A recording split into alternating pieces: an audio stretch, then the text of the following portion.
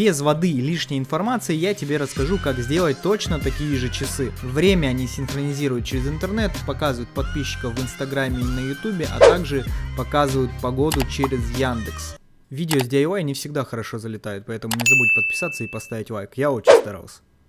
Для начала тебе нужно распечатать 5 деталей. 4 ты видишь перед собой, это корпус. И еще одна это решетка под экран. Цвет, естественно, ты можешь выбрать свой. Всего нам понадобится 3 микросхемы. Первая это матричный модуль MAX 7219, он может быть красным, синим и зеленым. Нода MCU версии 3 и микро USB. Естественно, все ссылки, схема пайки и прошивка в описании к этому видео. А как прошивать я расскажу немного позже. Также тебе понадобится акриловое стекло, которое подойдет от упаковок или CD-дисков. Края необходимо подточить наждачной бумагой, чтобы они залезли в нашу модель. У меня акрил 1 мм, но можно использовать и тоньше, и толще. Можно экспериментировать и использовать другого цвета стекло. Также нам понадобится какая-нибудь пленка, которая нужна для того, чтобы рассеивать свет от матричного модуля, потому что он изначально яркий. Я использую старую среднеформатную пленку, но можно, например, использовать скотч или тонировочную пленку для автомобиля. После того, как все подогнали, подключаем, проверяем, как все будет работать. Прошивать и настраивать нужно до того, как все собираешь. И об этом я расскажу далее. А мы сейчас все собираем, но данный этап сборки является финальным. А вернемся к прошивке. В архиве ты увидишь такие файлы. Сначала нужно установить драйвера и Arduino IDE, и после этого запустить наш установщик прошивки то есть флешер. Прямо в плату ноды MCU подключаешь микро USB и сам ноды MCU подключаешь к материнской плате. Запустив флешер, ты увидишь такие окна. Заходишь в конфиг, там выбираешь нашу прошивку, которая лежит в архиве. Название у ней тоже, поэтому ничего не перепутаешь. После того, как нажимаешь ОК, увидишь такие числа. Это не меняй. Компорт ты увидишь при подключении ноды MCU к компу и здесь появятся различные MAC адреса и QR-код. Можно нажать флеш, но перед этим лучше baud поменять на 115 тысяч, это будет надежней.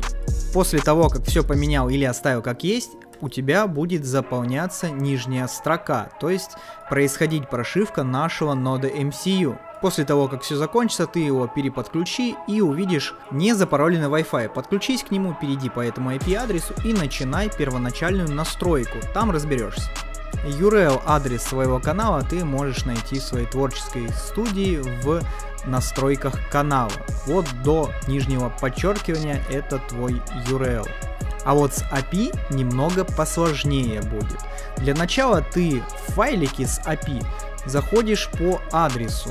Если ты авторизован в своем аккаунте, он тебя перекинет в личный кабинет получения API своего аккаунта. Внимание! Никому не передавай собственное API. Это важно для доступа к своему аккаунту. После этого нажимаешь бургер, после этого нажимаешь API and Services и после этого выбираешь Enable API and Services. Если, конечно, в этой вкладке не был ты изначально, как был я. Поэтому дальше нажимаешь окошко Search, там вводишь YouTube, там видишь YouTube Data API версия 3 и выбираешь его. Важно выбрать это окошко, а не какое-то другое. После этого у тебя откроется такое окно с надписью YouTube и там будет немного другое, что-то типа try IP или что-то типа того. Нажимаешь использовать, ждешь некоторое время и заходишь в окно, которое называется Credentials или типа того. И здесь уже увидишь свой API key. Он будет справа, надпись Show Key. Я думаю, тебе не стоит объяснять, что эти все ссылки нужно вставить в веб-интерфейс наших часов и все будет работать. С настройкой погоды все намного проще. Заходишь вот сюда вот, Выбираешь свой город, это самая главная страница Яндекса, если что. Выбираешь свой город, нажимаешь ОК и вбиваешь в поиск все, что угодно. Например, опять же город. И здесь будет такая надпись LR213, например, это для Москвы. Забивая любую информацию, ты будешь получать ID города этого города, если ты все изначально на главной странице выбрал правильно. И все, вбиваешь этот ID в свои часы и пользуешься. С Инстаграмом, я думаю, все понятно, там просто логин, а обновление происходит каждые 2 минуты, поэтому если информация неправильная, немного потерпи. И все, наслаждайся своими новыми классными часами. На проект у меня ушло менее 10 долларов, со временем я его немного усовершенствую, поставлю другое стекло поновее и другую пленку. А с тебя подписка, лайк и может даже репост. Спасибо, что посмотрел. С тобой был Провальный.